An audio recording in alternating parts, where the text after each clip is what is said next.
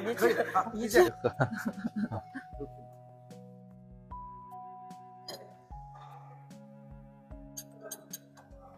你好，我是来自台湾台北的谢金阳，然后这次来参加云台会的云台咖啡产业投资考察活动，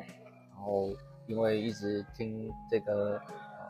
宝山的咖啡是在全中国是很有名的，所以特别想来考察和体验看看。嗯，感觉这个咖啡的味道很香醇，然后啊、呃也有很好的这个浓厚的这个甜味啊，咖啡的香味。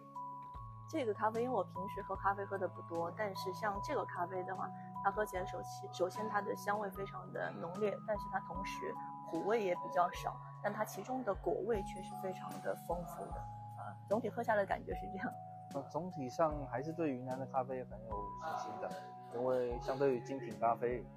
其他地区的产地的话，可能比较多人知道，但是就是说，其实就是以国内就是云南的咖啡来讲，还是品质是很好的，然后这整个的产业链现在感觉也是有比较好的发展跟政策的支持，所以对未来还是有蛮多的期待的。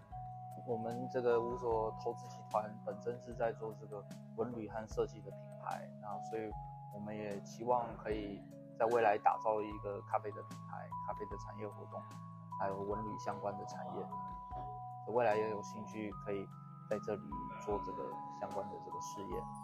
之前也有和朋友推荐过很多，因为嗯，台湾对于云南的旅游这些是比较有认识的。但是在旅游之外呢，又可以了解到更多的产业，还有这些生产的个情况的话呢，其实可能会有更多更深入的连接。我们具体其实就是在做自己的品自有品牌的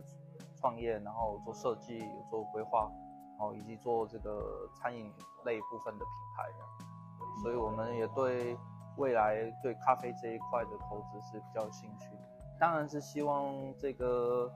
呃，互相的交融，还有这个了解能够更深入，所以像这一次的活动，其实我们可以深入到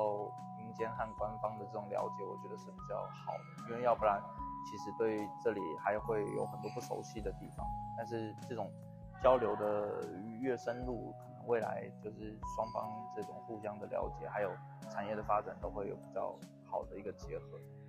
云南咖啡，我觉得就是其实。性价比是很高的，而且绝对是不输其他产区出国外的。